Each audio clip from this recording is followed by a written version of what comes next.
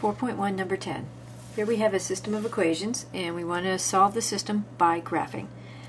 So we have two different equations and first what I'm going to do is take the very first equation here, equation number 1, and find some points to plot. So we've got 6x minus 4y equals 8 and let's set up an xy chart and find a couple of points and then we'll graph them. We're going to do the same to equation number 2 and we will find some points to graph for that one. 6x equals 4y plus 8. So let's make a chart for that one. And then we'll make a graph and see where the lines intersect, if they intersect. So taking the first equation. Usually when the equation is in this format, where we have the x and y terms both on the same side, then I try to find the intercepts. Those tend to be the ones that are the easiest math to do out. So let's put in x is 0, and we're going to find the y-intercept. If x is 0, then the x term completely goes away, and we're left with minus 4y equals 8. Dividing both sides by minus 4, we get y equals minus 2.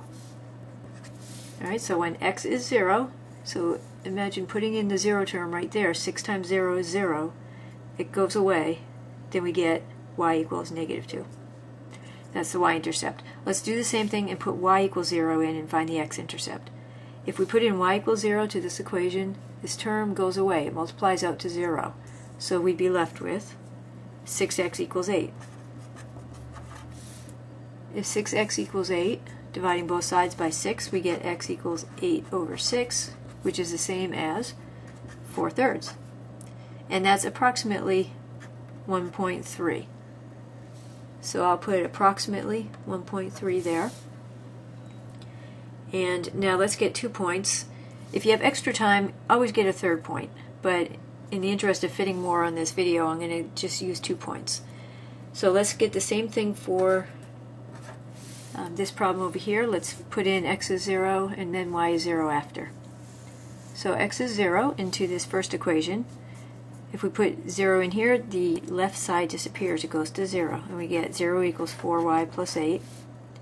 Take away 8 on both sides. We get minus 8 equals 4y. Divide by 4. We get minus 2 equals y. So when x is 0, y is minus 2. And then let's put in y is 0.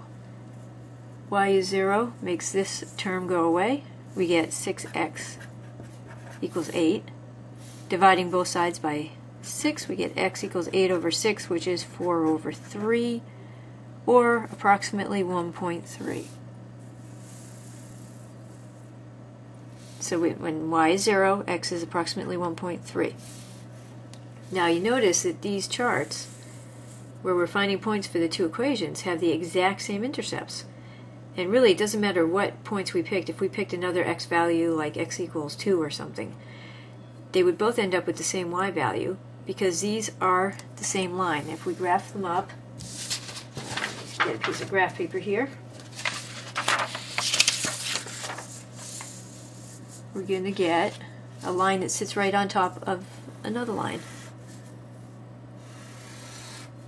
So we have our xy axes, and then for the first line we had 0 minus 2, 0 minus 2, and then approximately 1.3 and 0. 1.3, maybe right there, and 0. So there's our first line. And our second line is right on top of it. Has the exact same points. When you have two lines right on top of each other, they're touching everywhere. And the place where the lines touch or intersect is the solution. Therefore, there are infinitely many solutions. So in MyMathLab, you would say the solution is I, or you could say if you were just writing it out on a test, infinitely many solutions. So that is number 10. Let's look at another one. Number 11. Again, we want to solve by graphing. So we're going to find um, some points for both equations. So let's start with the top equation number one. An XY chart. Now in this one, the x and y terms are not both on one side, so I don't find it the quickest to find the intercepts. I think I'm going to start off with x is 0 and find the y-intercept, but then I'm going to pick something else for x, something that cancels nicely with the 4. So I think I'll just pick 4. And remember, you can pick whatever you want for the x values that you plug in. So when x is 0, I plug it in here, and this equation, so rewrite the equation here. The x term goes away if x is 0, and I get y is minus 1. So I have 0 minus 1 for the first point. Now I'm going to put in x is 4. So if x is 4, I get minus 1 fourth times 4, take away 1. 4 and 4 cancel out. Gives me minus 1 minus 1, or negative 2. So when x is 4, y is negative 2. So those are the points for the first equation. Let's get a couple points for the second equation.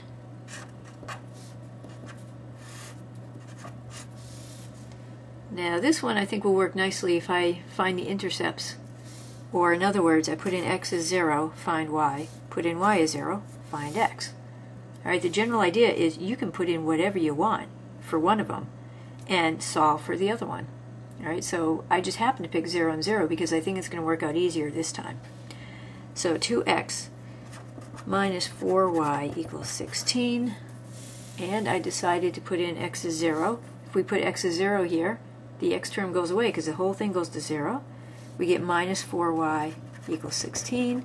Divide both sides by minus 4, and we get y is minus 4. So that goes with x is 0. Now we can pick y is 0 because we can pick whatever we want. So if I pick y is 0, that whole term, 4 times y, would be 4 times 0. It goes away. And I'm left with 2x equals 16 dividing both sides by 2, I get x equals 8. So when y is 0, x is 8. And like I mentioned before, if you're doing a test and you have extra time, find a third point for each equation. All right, now we're going to graph those four points that we found, and they're going to give us a graph of the system, and we're going to see if the system has a solution. So the first points were, let's see, 0 minus 1, and 4 minus 2. 0 minus 1, 4 minus 2. That's our first line, and I should really use a ruler. I don't think I have one here. Here, I'll use my three-hole punch. Alright, so now we're going to draw a line going through those points. That's our first equation. And now we're going to use the other two points for the second equation. 0 minus 4 and 8, 0. 0 minus 4, 8, 0. Now that's interesting. It looks like it's lining up to go right through one of the points that's on the other line there. So again, we get our nice bulky ruler out here whatever does the job, right? Alright, so there's our two lines. And they look like they intersect nicely right at this point which was 4 minus 2. And the last thing you'd want to do before saying that's the final solution is check it in the original system.